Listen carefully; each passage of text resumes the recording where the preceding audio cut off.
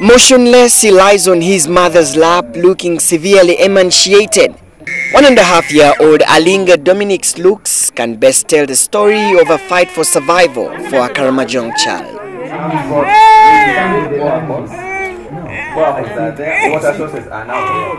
And when he attempts to cry, he's inaudible. He can barely breathe.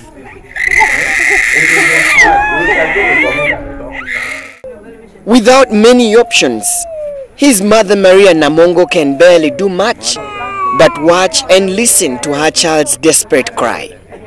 We found Dominic and his mother at Kaabong Hospital where they had come for treatment and relief after being declared malnourished.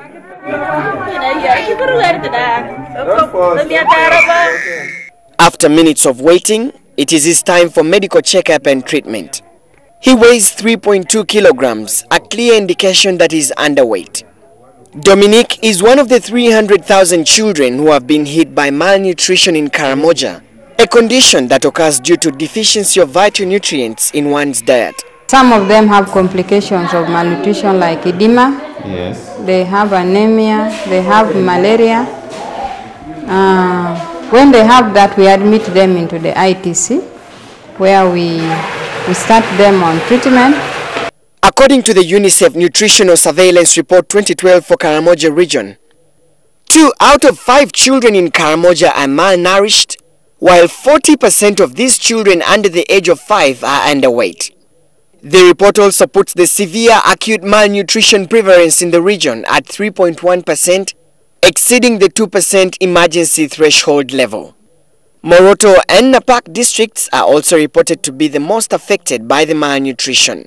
These statistics indeed paint a grim picture of a matter that needs urgent attention. Imagine a child in Karamoja from morning up to evening.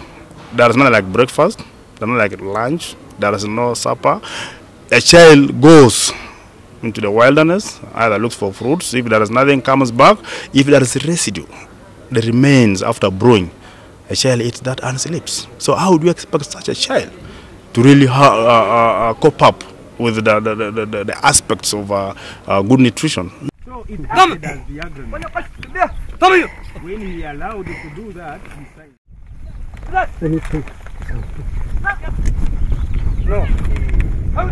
Yet even the tireless efforts by the Karamajong people who wake up to cultivate these fertile grounds are shattered by the cyclic drought. This makes the puzzle even more difficult to solve unless government intervenes. This one is an indicator that next year, next season, we shall not have food. Even this interim period, we, the, many people in Karamoja are going to die. So there must be uh, an immediate intervention in terms of food aid. For starters, what we can do, we have been making several deliveries of fortified foods. These are what we can actually call nutritious foods. We make these deliveries to districts, and the districts take count of how many hospitals are in the area. Then they are distributed. Non-government organizations, international agencies and government have over the years camped in the region to heed to the call. But according to government, there is need to find a lasting solution to the problem. Because we have now demonstrated that food production in Karamoja is possible through our tractor hire scheme. They should ensure this one continues. We are phasing out the tractor hire scheme because it's expensive. And uh, what we are now looking at is um, giving out oxens and ox plows because we want to ensure sustainability of food production in Karamoja. If there was a strategy even to create an irrigation scheme in Karamoja that these parents may at least utilize, that would also help. But for now, you move around, basically most of the places are dry. If you went to continue now, you can't even see what we call a wetland.